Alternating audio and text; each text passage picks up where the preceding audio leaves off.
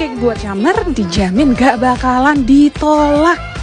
Hai hai semuanya, jadi aku maksud itu cake buat Camer Ini tuh cake cocok banget buat ibu-ibu. Siapa yang udah mikir kalau aku bakalan ngasih cake ini buat Camer aku? Cake kali ini yang aku buat itu buat teman aku sendiri. Dan dia sendiri yang langsung chat ke aku buat request semua yang mamahnya mau cake yang kali ini tuh super spesial banget karena mamahnya itu request kalau dalamnya pengen dibuat banyak banget buahnya supaya waktu makan itu nggak enek. Jadi dijamin banget kalau cake ini tuh bakalan langsung habis sekalinya dipotong loh.